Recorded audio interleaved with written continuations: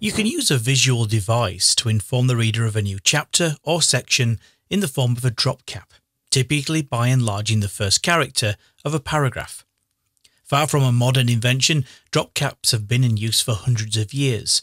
Referred to as illuminations, they were painstakingly drawn by hand.